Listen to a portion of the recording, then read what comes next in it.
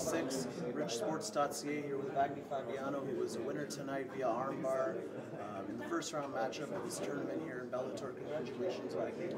Uh, can you please take us through this finish of this fight? Uh, you had the armbar very secure. You tried very hard, was very willing to try and get out of it. You didn't tap. He was almost willing to give up the limb. Uh, also, uh, please take us through the finish there and uh, whether you think that this was a technique that you saw in training could work tonight? Uh, that's a kind of armbar, invert armbar.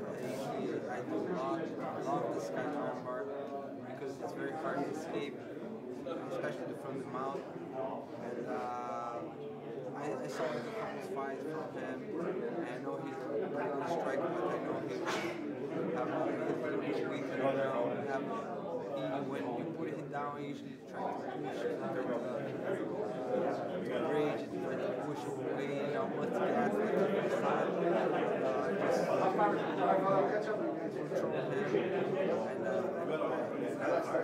was trying to get on the side, but uh, he was push me and then he gave like to mouth. And soon I mouth him, he just tried to push me away, and uh, that's exactly what I, I like. You know, so I just uh, pretend like I'm gonna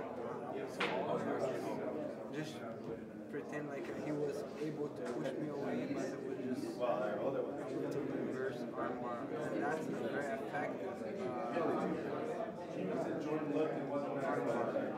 it's really good, and I do that well, and I have like a, another fight, another fight in IFL. Actually, I finished the guy in the same position, you know, but when I get there, I have, uh, I have to get tight because I pop his arms all the way feel it. Pop, and then you don't want to pop. So I, I stress myself a little bit there because uh, I, I adjust a little bit, and it fits, and I, I put that pressure, and that's his arm pop, and it was beautiful. I think you heard yourself.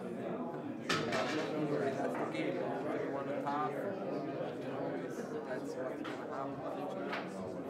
So you were fully prepared then, you know, to get the win by any means. You were holding it. There was no way that he was getting out. It was either tap or risk injury there at that point in time. Oh, exactly.